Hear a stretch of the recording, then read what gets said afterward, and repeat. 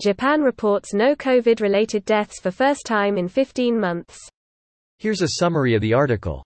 Japan reported no deaths linked to the novel coronavirus on Sunday, the first time no fatalities had been reported on a single day in about 15 months.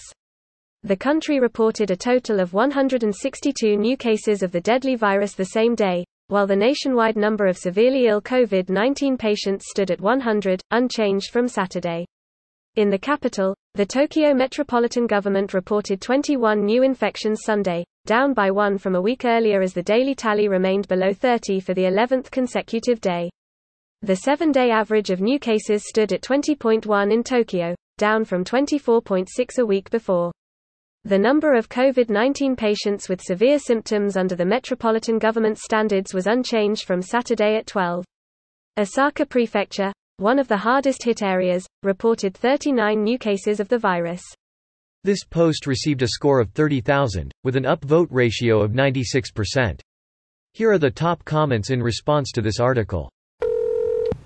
Lots of countries in Asia seem to have it pretty much under control now. I'm in Japan. We had a big spike over the summer that peaked in August, after which the cases dropped to near zero, where they have been for about six weeks now. But the attitude is still anything but under control the fear of another wave is always present, and the standard anti-COVID measures of near-universal mask use in public spaces, social distancing, and remote working where possible are still in effect. Society is only reopening very slowly and carefully. I live in Tokyo and can vouch for what you said. Most people aside from some assholes being very careful, although it's hard to avoid crowds no matter what in a place this populated. Morning trains are as packed as ever. I cannot wait to return to Japan, especially Tokyo. I've missed it so much. I had started planning just before COVID hit for a trip in April 2021. I was legit planning my trip at the beginning of 2020 to go in either April or August for the first time ever. It's been so shitty waiting even longer cause I'd already put it off so long and finally was like, time to finally travel. Haha. Hope you get to do that trip now smiley face. Let me know if you need some tips from a local. Where wearing a mask isn't political. Meanwhile, I see anti masker Bellins using Japan as an example of masks not working. They've been using masks way before COVID. They have indeed. I've seen a WW2 documentary. Forgot the name. There was a clip that showed some Japanese citizens already wearing masks. Mofos were wearing them decades ago IIRC.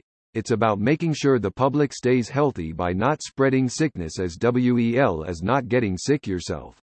A sickly population is bad for the economy and the country as a whole. It's all in the spirit of collectivism and the good of the country before oneself. I don't mean this as an insult to Americans here, but it was obvious from the first moment of this pandemic that the US would be hit hard because very large sections of its society favor individualism over a sense of collectivism. Same thing as the general rejection of any policies which be described as socialist, even despite having several socialist policies and systems in place. It's such a fucking weird place. The older I get, the less I understand it.